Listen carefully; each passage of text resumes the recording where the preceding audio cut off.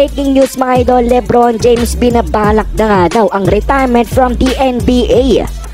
Yan mga idol ang nagpagulat sa maraming NBA fans lalo na sa mga Lakers at Lebron.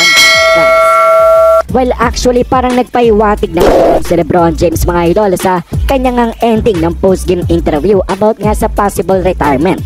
Sabi niya sa kanyang ending ng press conference niya, I got a lot to think about. Marami nga daw siyang dapat isipin. Sabi niya pa na just me, personally, with me, moving forward with the game of basketball. I got a lot to think about. Yan mga idol ang nag-spark ng rumor na baka nga daw na itong si Lebron ay binabalak ng pagre-retiro after ng 20 seasons.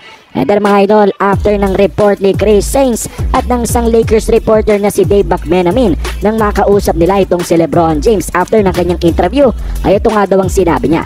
Natanong ni Dave McMenamin itong si Lebron James matapos ng kanyang interview na para bang sinasabi niya na ipaliwanag niya pa yung kanyang naging payag sa ending ng kanyang press conference. Ang sagot niya nga daw ay kung tutuloy ko pa ang paglalaro ko.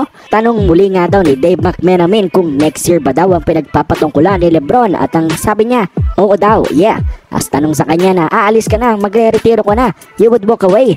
At ang sagot nga daw dyan ni Lebron James na I got to think about it. Pag-iisipan nga daw yan ni Lebron James. And then si Chris Haynes ay dumagdag pa nga dito sa balita about sa retirement ni Lebron. Sabi dito, Los Angeles Lakers star Lebron James is unsure if he'll be with the team when 2023-2024 season starts in fall and retirement is under consideration.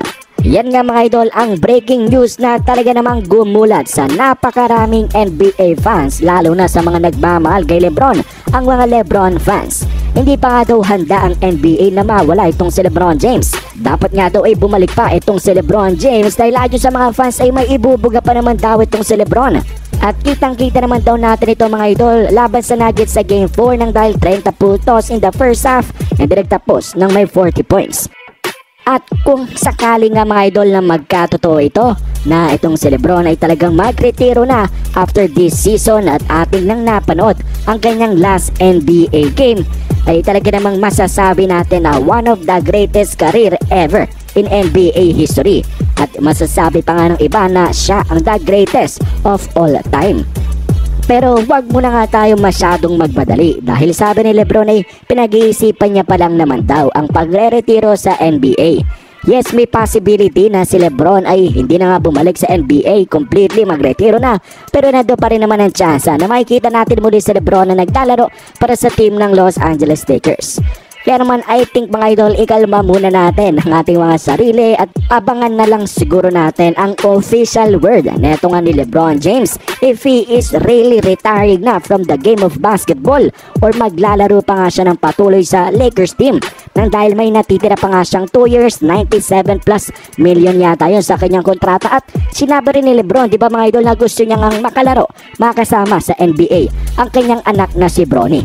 At ngayong off-season siguro ay pagtitimbang-timbangin pa ni Lebron James ang mga sitwasyon kung okay pa ba na bumalik siya sa NBA maglaro or tawagin na ngayon na isang karir. Kagaya nga ng pagre-retiro ni Carmelo Anthony ngayong araw. So yan mga idol, abangan natin ang next update ni Lebron James. Will he retire or will he continue to play?